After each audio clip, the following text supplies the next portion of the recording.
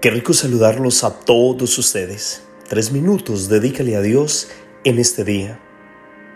Su poder nunca se acabará porque es eterno y su reino jamás será destruido. Palabra de Dios, te alabamos Señor.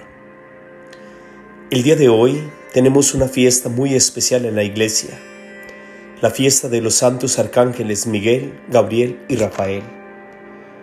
Quiero detenerme en dos momentos centrales de este día. El primero de ellos, la presencia de los arcángeles es que no estamos solos, que contamos con la gracia y la compañía de Dios a través de los ángeles, en este caso arcángeles, Miguel, Gabriel y Rafael. Me sorprende cuando veo muchas personas que se sienten solos, que creen que Dios los abandonó y olvidan que Dios se nos manifiesta a través de ángeles o arcángeles. A veces los esperamos como seres espirituales, pero se nos olvida que a veces Dios nos pone ángeles de personas de carne y hueso, directas, concretas. Ángeles que nos dan la mano cuando menos lo piensas. Ángeles que nos dan una palabra de aliento cuando la necesitas. Ángeles que te dan un abrazo o simplemente te miran a tus ojos y te dicen lo que estás haciendo no es lo correcto. Dios nos envía ángeles para que nos acompañes. Por eso quiero invitarte para que no te sientas solo. Hey, no estamos solos. Tenemos la presencia y la gracia de Dios a través de ángeles concretos que nos manifiestan su bendición todos los días.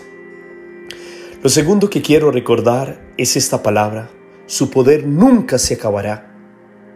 A veces, y tristemente, vemos el poder de Dios como que es finito, como que se acabará. Y muchas personas dicen, en tal fecha le ponen días, le ponen horas, le ponen problemas, que va a suceder esto, que está pasando esto, y nos dejamos llenar la mente de la finitud del poder de Dios. Y si algo debemos de tener muy presente es que el poder de Dios nunca se acabará.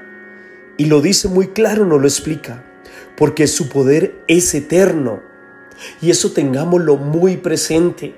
Cuando usted esté en estos momentos afligido, triste, eh, como que veo la presencia de Dios tan débil en mi vida, este es el momento de que estas frases deben entrar en mi corazón y escuchar esa palabra de Dios. Su poder es eterno. Y no solo eso, lo dice bien claro, su reino jamás, jamás, lo repito, jamás será destruido. Jamás será destruido. Tristemente escuchamos hoy en día muchas personas que hacen ver que el poder de Dios se destruye, que el poder de Dios es finito, que el poder de Dios se va a acabar, que tiene una fecha de caducidad y se nos olvida estas hermosas palabras que nos presenta el profeta Daniel. El poder de Dios nunca se acabará. Segundo, es eterno.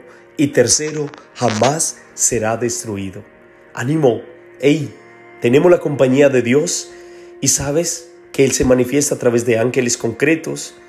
Y recuerda que el poder de Dios nunca se acabará, es eterno y jamás será destruido.